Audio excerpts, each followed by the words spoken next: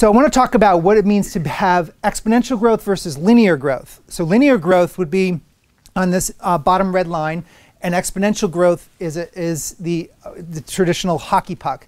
So when we're thinking linear, we're thinking in 5, 6, 10% growth increments. And we're thinking exponentially, we're thinking how can we make a 10x change? A 10x change typically is associated with revenue, but it could be a 10x change in an efficiency, in a process, and even individually within ourselves. So we're breaking the paradigm of this has to be uh, the pattern of in incremental linear, which is a typical uh, 30 steps. But if we actually took 30 exponential steps, we would traverse the world, the planet 26 times. So let's talk about this as a, as a, as a business impact and talk about disruption uh, caused by exponentials. So many of you are aware of Blockbuster. They used to be at every, every uh, corner of our, of our neighborhoods. And we saw, all of you remember, I remember when Netflix was sending those CDs out and then they pivoted and we had more ubiquitous access to connectivity. They started streaming and all of a sudden Blockbuster didn't respond, and they nosedived and cratered, and, and Netflix took off. So that's an example of, uh, of an uh, exponential technology that, that essentially one company rode the wave out and one company ignored. And the CEO of Blockbuster said neither Redbox, um, everybody has a Redbox at their 7-Eleven probably.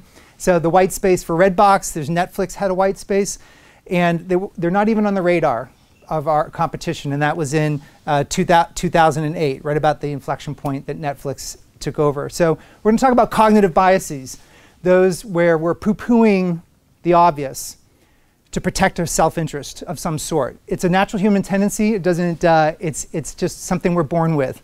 And I often say to you all here, uh, when texting first came out, no, I, I remember saying, just, "Who's going to text?" No, I'm not going to text.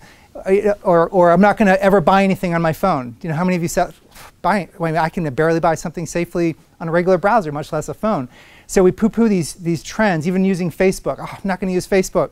That Facebook, there's just not a chance. And of course, now with the ageification, we're all using Facebook, and now the younger kids don't. So that's the, the cognitive bias that we're going to pay attention to in, in this 30 minutes where I'm going through this. So how fast, I don't, I don't think people are aware how fast things are changing. And I'm not saying this because I want you all to get hyped about the change. I want you to just be deeply aware of what's happening so you can figure out with your unique toolkit that all of us come to the table with how we're going to help our businesses and ourselves personally. Sears in 2006 was worth 14.3 billion.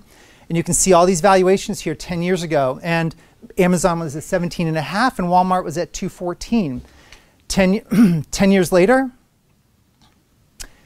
10 years later, Sears down 94%. They're less, worth less than a billion. Uh, down 38, down 70, 70, 40. Walmart's made a nice uh, uptick. And of course, Amazon uh, is, is dominating the planet right now. So, and that's just in a 10 year time frame. I want to talk a little bit about how quickly companies are growing to a billion. How many of you heard of the, the word the unicorn club? Okay, so several have.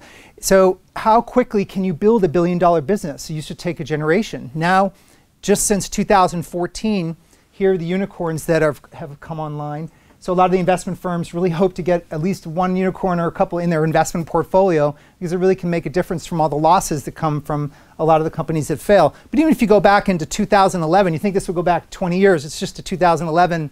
We have Palantir and Square and Airbnb and Dropbox and such coming online when they hit their billion dollar valuation. So it's just to be aware of what's happening around us